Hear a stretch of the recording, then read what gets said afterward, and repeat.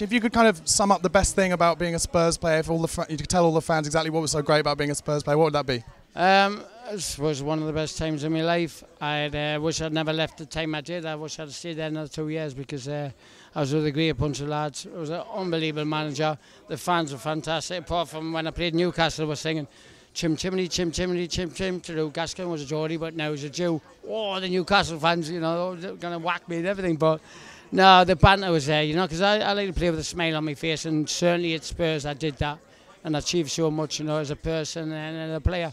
Gazza, thanks so much. Have a great night. Really looking forward to seeing the film. Cheers, mate. Do you think the medical setup was a bit second rate at Tottenham It at that sh- time? It was shambolic. Was it really?